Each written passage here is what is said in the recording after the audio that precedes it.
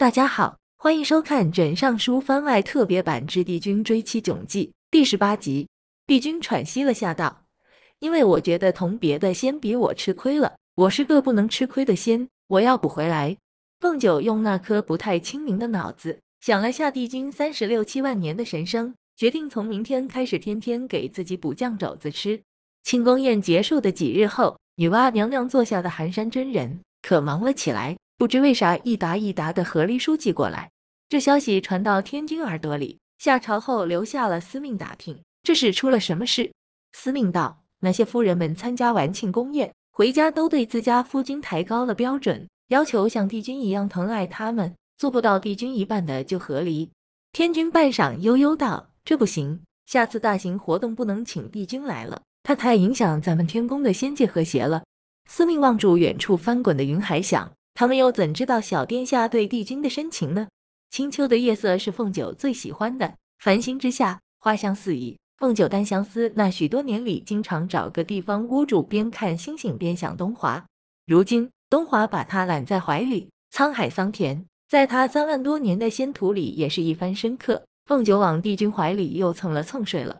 帝君望住渐渐睡熟的凤九，轻薄的月色映在他白皙的颜面上，睡得像个婴孩般甜美。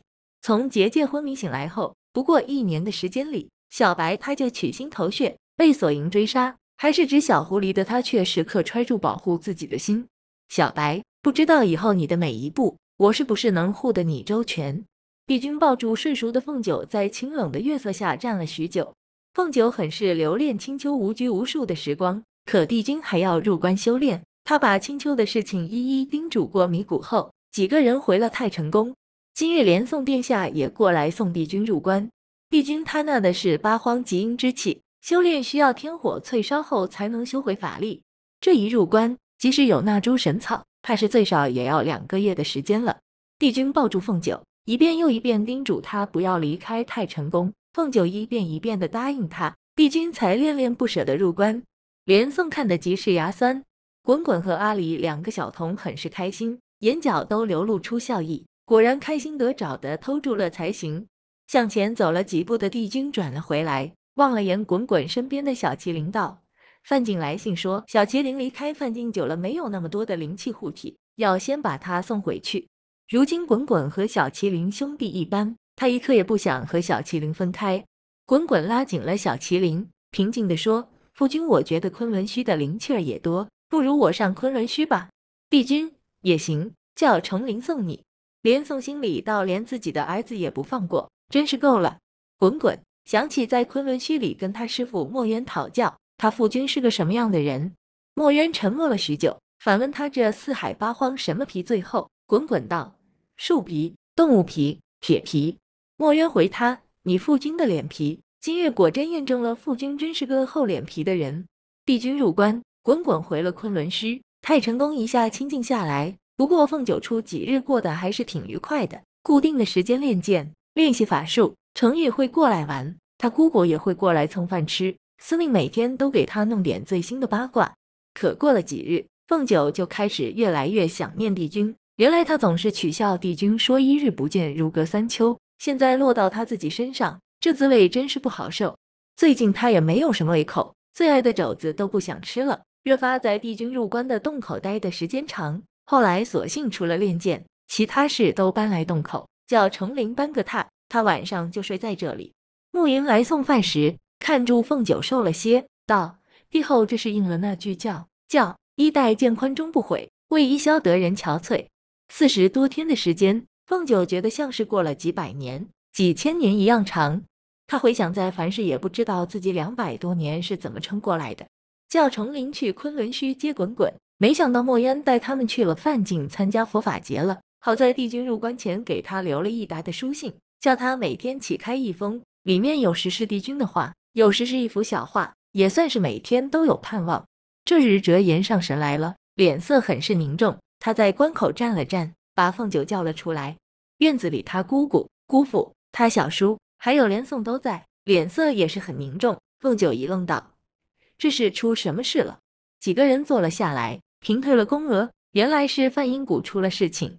几日前，范英谷的节律女君说，范英谷最近失踪的人越来越多，她姐姐来请帝君，却被拦住了，因为事情重大，他又找了连宋。夜华派了几员天将下去，可那几员天将竟然没有回来。夜华觉得很是奇怪，便和连宋入了谷。第二日，星月下感知谷里有异动时，夜华和连宋赶了过去。只见幻灵里的一妖，黑色的袍子，黑纱遮了脸，脚下的两个婴孩已经没了气息。连宋手里放出了收妖塔，可那塔转在腰的上方却丝毫未动，反而直直跌了回来。夜华画出清明剑，一剑刺过去。夜华用了六成功力，那妖倒是受得住，和夜华过了几招。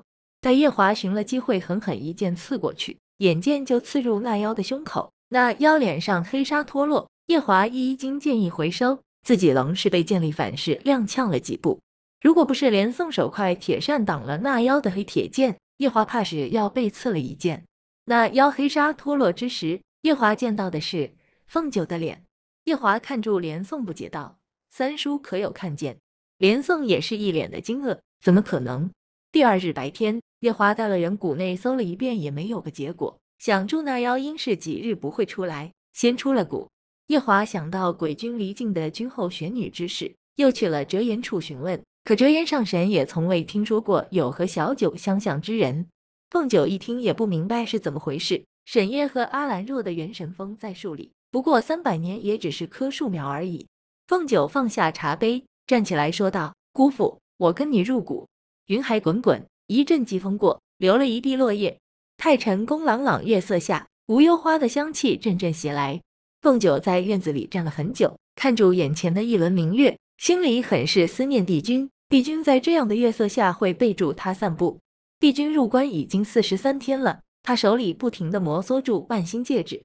远远跟住的仲林上前道：“帝后能不能再等几天？帝君应该快出关了。”凤九道：“你在关口守好，我这有姑父和小叔，他们不会有事的。”重林虽然不知道出了什么事，但是这么多人脸色凝重。那一定是有大事，他的眉头紧皱在一起，心里都拧巴了。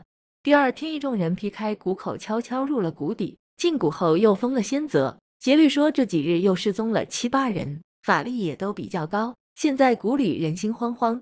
凤九带几个人去沈夜和阿兰若的树旁，那树三百年倒是长得郁郁葱葱，但就是小树苗而已。凤九觉得，即使阿兰若和沈夜几千年后有些造化，那他们也不会有恶念的。阿兰若他是心底纯净之人。第一日谷里没有动静，也没有人上报失踪。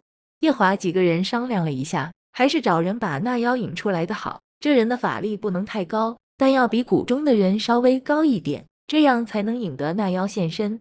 程昱道：“那就我去吧，你们的法力都高过我。”夜华看了眼连宋道：“那程昱你就白日在谷里四处转转，又叫劫掠女君给安排了比较偏僻的一个住处。”折颜画出一颗铜铃，交给程昱道：“只要那妖一出现，你就晃动铜铃，你那边不会响动，但我这边能听到。”连宋见程昱出去时，急急的跟了上去，一脸的担忧，叫了声程昱，半天不说话。程昱道：“真是啰嗦，我没事。”转身走了。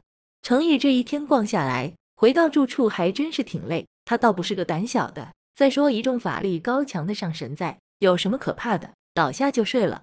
不知睡了多久，程昱机灵一下醒了，眼前黑影一闪，自己就被劈了一掌。程昱撑住仅有的一点意识，晃了晃手。众人赶到时，那妖正要吸食程昱的魂魄。连宋铁扇飞出去的同时，几叶枪跟住出了手。那妖躲过了连宋的攻击，想跑。叶华画出清明剑堵住了他的去路。那妖和叶华纠缠了几个回合，从屋里打到屋外，见自己落了下风，挥手黑纱落地。凤九虽然有心里有准备，还是被惊到了。那张脸正正是自己的脸，就连那朵额头的凤羽花也有。这时候，夜华几个人像是入了幻境一般，他们觉得凤九在对住他们笑住，一点点走来。折颜，糟了！那妖用了迷魂幻术，赶紧施法稳住了大家的心魂。凤九片刻惊愕后，灵台倒是清明了，手一抖，画出银月剑，同那妖打在了一起。凤九跟淼落也是打过的。帝君又教导了他这么久，法力自然要比那妖高出许多。好了，今天的剧情就到这里，我们下集再见。